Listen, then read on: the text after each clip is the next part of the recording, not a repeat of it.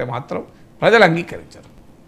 Right okay sir అంటే Gulf కార్మికులకి ప్రత్యేక బోర్డు ఏర్పాటు చేస్తామని చెప్పేసి రేవంత్ రెడ్డి రేవంత్ రెడ్డి కూడా చెప్పడం జరిగింది. అంటే నిన్న వారితోటి మాట్లాడుతున్నటువంటి సంద- సందర్భాల్లో ఏజెంట్ మోసాలు అరికట్టేందుకే యొక్క చర్యలు. అంటే ఈ గల్ఫ్ కార్మికులకు సంబంధించిన అంశం మనకు అనేక సందర్భాల్లో చూసాము. అంటే ఇది సాధ్యం అవుతుందంటారా సార్ ఎందుకు సాధ్యం కాదండి? ఇప్పుడు అమెరికాలో భారతీయులు పనిచేస్తుంటారు. కొన్ని లక్షల మంది పనిచేస్తున్నారు భారత ఇన్ఫర్మేషన్ టెక్నాలజీ రంగంలో. ఏం వాళ్ళు ఏమైనా ఇబ్బందులు పడుతున్నారా?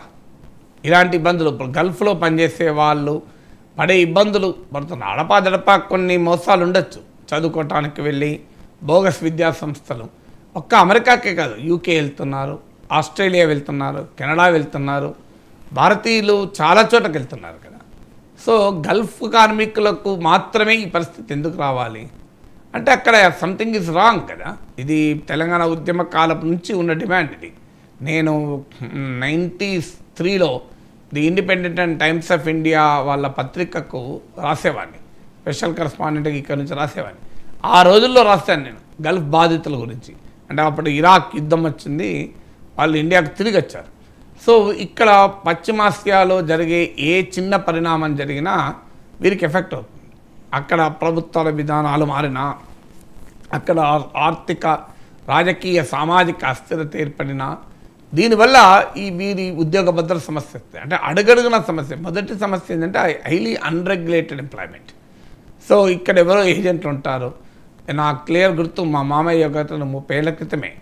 ఆయన మా గల్ ఎవడో ఏజెంట్ డబ్బులు కడితే హైదరాబాద్లో ఎయిర్పోర్ట్ ఎక్కించి ముంబై ఎయిర్పోర్ట్లో దించి వెళ్ళిపోండి అన్నారు. సో ఆ రకమైన మోసాలు కూడా జరుగుతాయి. సో ఈ ఏజెంట్లు అంటే ఎవరి ద్వారా వీరు ఉద్యోగాలకు పోతున్నారు? అక్కడ ఎవరు ఉద్యోగంలో పెట్టుకుంటున్నారు? ఇది కనుక రెగ్యులేట్ చేయగలిగితే ఎందుకంటే మన దేశానికి గల్ఫ్ దేశాలకు డిప్లొమాటిక్ రిలేషన్స్ ఉంటాయి.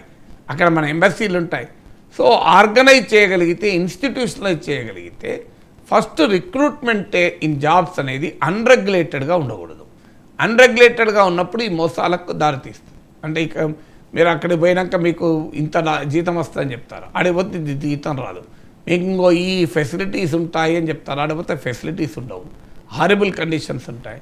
సో దీన్ని రెగ్యులేట్ చేయగలగాలి అంటే ఎంప్లాయ్మెంట్ అనేది కాంట్రాక్చువల్ ఎంప్లాయ్మెంట్గా ఉండి రికగ్నైజ్డ్ ఏజెన్సీస్ మాత్రమే.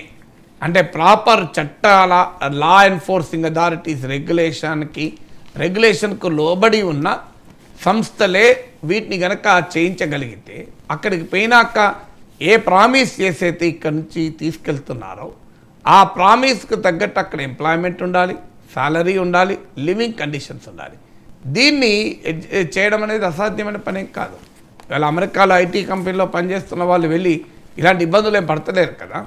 మీరు అందువల్ల ఆ నేచర్ ఆఫ్ ఎంప్లాయ్మెంట్ ఏంటి క్యారెక్టర్ ఆఫ్ ఎంప్లాయ్మెంట్ ఏంటి ఇవన్నీ ముందుగానే వెళ్ళేటప్పుడు తెలవాలి వాటికి స్టిక్ అనే ఉండాలి. దాన్ని ఆ- ఆ రెగ్యులేట్ చేయగలగాలి. ఆ ఏజెన్సీస్ చట్టం పరిధిలో ఉంటే ఈ సమస్య రాదు. ఇప్పుడు ఏంటంటే ఇవన్నీ అన్రెగ్యులేటెడ్ ఏజెన్సీస్గా ఉన్నాయి. దానివల్ల మోసాలు అవుతున్నారు. తర్వాత అక్కడ సోషల్ సెక్యూరిటీ ఏంటి? ఆడ బేసిక్ సివిల్ రైట్స్ ఏంటి? అన్ఫార్చునేట్లీ మనకు అమెరికా ఆస్ట్రేలియా కెనడా బ్రిటన్ లాంటి పరిస్థితి ఇక్కడ ఉండదు. అమ్మమ్మ డెమోక్రటిక్ కంట్రీస్ ఇష్టం వచ్చినట్టుగా వ్యవహరించే ప్రసక్తే లేదు. అవి ఎందుకంటే అక్కడ చట్టాలు ఉన్నాయి రూల్ ఆఫ్ లా ఉంది ప్రజాస్వామిక ప్రభుత్వాలు ఉంటాయి బలమైన పౌర సమాజాలు ఉంటాయి. అందువల్ల నీకు అమెరికాలోనూ ఆస్ట్రేలియాలోనూ ఇష్టం వచ్చినట్టు జరగటానికి స్కోప్ ఉంటుంది కానీ గల్ఫ్ దేశాలకు వచ్చేవరకు ఇవన్నీ రాచరిక వ్యవస్థలు మిలిటరీ రాజ్యాలు నిరంకుశ రాజ్యాలు. సో ఇక్కడ ప్రజలకు కనీసమైన హక్కులు ఉండవు. పౌర హక్కులే అక్కడ ప్రజలకు ఉండవు. ఇక మన మన ప్రజలకు హక్కులు ఎక్కడి? అందువల్ల ఫారిన్ మన అక్కడ ఎకానమీకి ఒక పెద్ద ఎత్తున మన వాళ్ళు కంట్రిబ్యూట్ చేస్తున్నారు.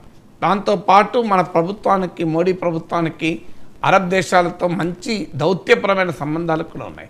అందువల్ల అక్కడ సోషల్ సెక్యూరిటీ ఎకనామిక్ సెక్యూరిటీని అక్కడ చట్టాలు అమలయ్యేలా కనీస కార్మిక చట్టాలు అమలయ్యేలా భారత ప్రభుత్వం దౌత్యపరంగా చొరవ తీసుకోవాలి.